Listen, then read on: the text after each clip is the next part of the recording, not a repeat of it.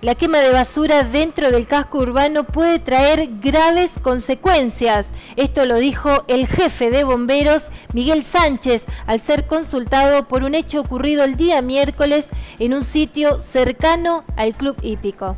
Nos encontramos con una situación de, una limpiada de un sitio donde estaban haciendo, donde dejaron las montañas de, de tacuara y raíces dentro de ella, ¿no es cierto? No sé quién ha prendido fuego en ese lugar, estuvimos ya, una dotación había bajado a las 3 de la mañana y como eso estaba con tierra y raíces, eh, volvió a prender, ¿no es cierto? Este, no sé de quién es el sitio, no sé quién estuvo limpiando, pero lo que sí te puedo decir que, que no pensamos a veces en el riesgo que puede pasar, ¿no es cierto?, porque dejaron los montículos de, de, rama y de todo tipo de, suciedad, ¿no es cierto?, dejaron muy cerca de las casas que están ahí, inclusive el humo estaba molestando muchísimo a las familias de ese lugar, porque al prender el fuego tampoco pusieron cuidado del viento, ¿no es cierto?, y entonces eso es lo que hacía de que las familias vecinas se sintieran molestas por este humo. Eh, la reactivación del fuego puede ser por varios factores, entre ellos el viento, eh, también eh, cómo se encuentra el clima. ¿Esto fue lo que sucedió en este caso? Sí, sí, exactamente. Y ya te digo, decir que estaba bastante apagado porque se fue a las 3 de la mañana y no había mucha llama, ¿no es cierto? Porque la tacuara, bien sabemos que, que tiene la resina esa que como que es explosiva, digamos, y sobre eso larga chispas, muchas chispas, y eso puede ocasionar un, incendio en una casa vecina, ¿no es cierto?, al, estar el viento para ese lado de las casas. Eh, ¿En qué zona aproximadamente de nuestra ciudad eh, se dio esto?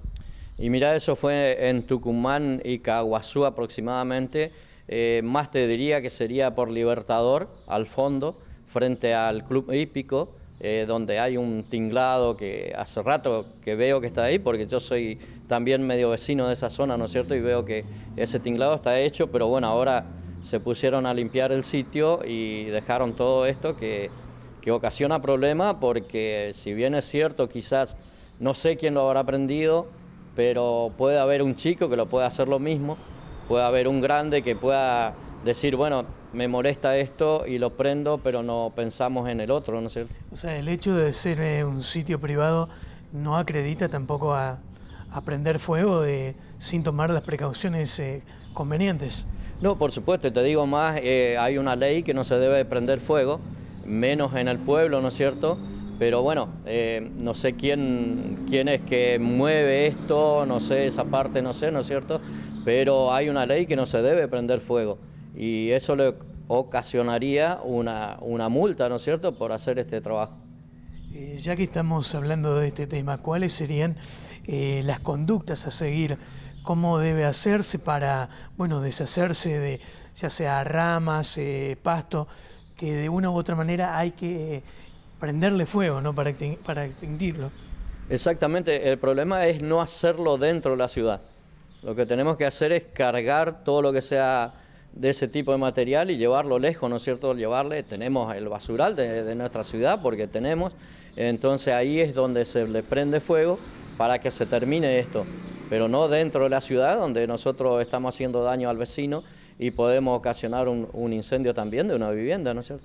Yo creo que tenemos que pensar un poquito más en el otro y no en nosotros, o sea, es pensar en el otro y a mí también me tocaría, ¿no es cierto?, pensar en el otro antes de hacer una cosa de esto.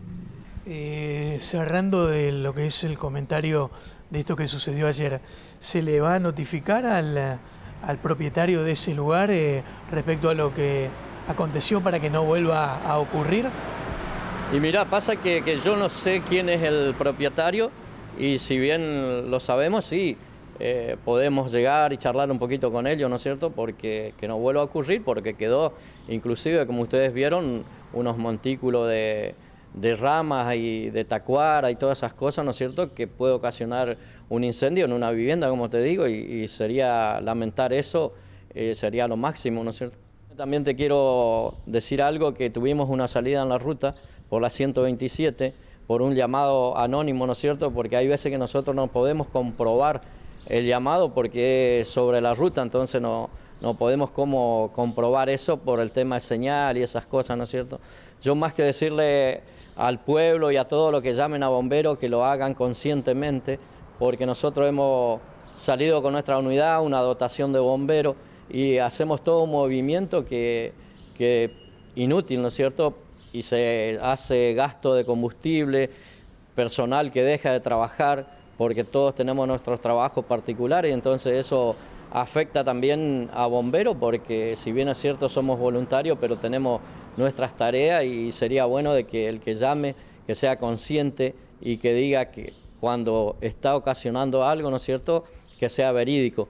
Y las llamadas de teléfono, que por favor, esto es un teléfono de emergencia y a veces lo usamos para hacer chistes, para hacer cargadas, para hacer cosas de ese tipo. Y a veces alguien está pasando por una situación difícil y nosotros por ahí este, tenemos que hacer muchas averiguaciones por ese motivo, ¿no es cierto? Porque tenemos muchísimas llamadas en las que son inútiles y entonces nosotros tenemos que hacer más averiguaciones porque no podemos tampoco salir a las carreras y nos encontramos con los que nos encontramos ayer, ¿no es cierto? En el caso que se comprueben estas llamadas falsas, eh, ¿las personas que las realizan eh, pueden terminar en prisión? Sí, por supuesto que sí, porque ellos están haciendo una falsa alarma, están haciendo perder tiempo, muchas cosas, muchas cosas que depende de bomberos, ¿no es cierto? Y por ahí nosotros tenemos una dotación en la ruta y si llega a pasar algo acá, ¿qué hacemos? Tenemos poco bombero, no es que tenemos cantidad de bomberos para decir, bueno, tengo dos o tres dotaciones en el momento que llame la sirena, ¿no es cierto?